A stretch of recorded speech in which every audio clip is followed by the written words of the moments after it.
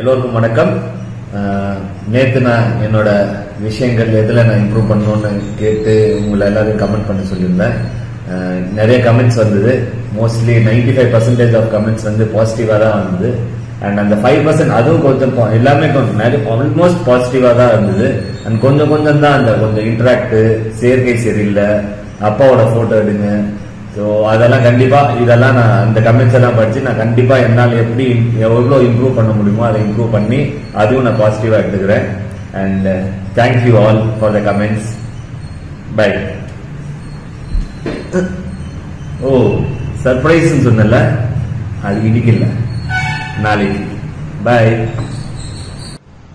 எல்லோருக்கும் வணக்கம். இந்த செவன்டி டேஸ் வந்து என்ன நீங்கள் பிக் பாஸ் ஹவுஸில் பார்த்துருப்பீங்க.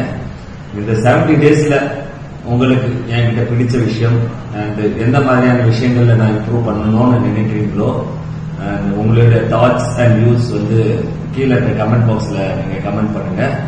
அண்ட் உண்மையான கமெண்ட்ஸ்க்கு கண்டிப்பா ஒரு சர்ப்ரைஸ் இருக்கு. தேங்க்யூ அனைவருக்கும் வணக்கம். நான் தான் உங்க ஜித்தன் ரமேஷ் பேசுறேன். Bigg Boss house Bigg Boss house வந்து உண்மையாவே ஒரு புது எக்ஸ்பீரியன்ஸா இருந்தது. அண்ட் இந்த பிக் பாஸ் வீட்டில் வந்து நான் எழுபது நாள் இருந்திருக்கேன். ஸோ உங்கள் சப்போர்ட் இல்லாமல் நான் இவ்வளோ நாள் இருந்திருக்க முடியாது.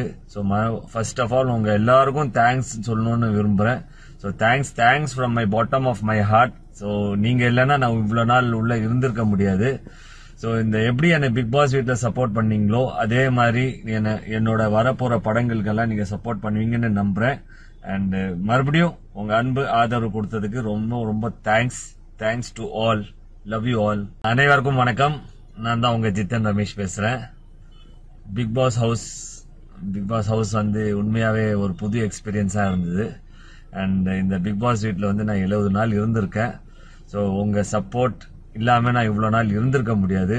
ஸோ ம ஃபர்ஸ்ட் ஆஃப் ஆல் உங்கள் எல்லாருக்கும் தேங்க்ஸ் சொல்லணும்னு விரும்புகிறேன் so thanks thanks from my bottom of my heart so நீங்கள் இல்லைன்னா நான் இவ்வளோ நாள் உள்ள இருந்திருக்க முடியாது. ஸோ இந்த எப்படி என்னை பிக் பாஸ் வீட்டில் சப்போர்ட் பண்ணீங்களோ அதே மாதிரி என்ன என்னோட வரப்போற படங்களுக்கெல்லாம் நீங்கள் சப்போர்ட் பண்ணுவீங்கன்னு நம்புறேன்.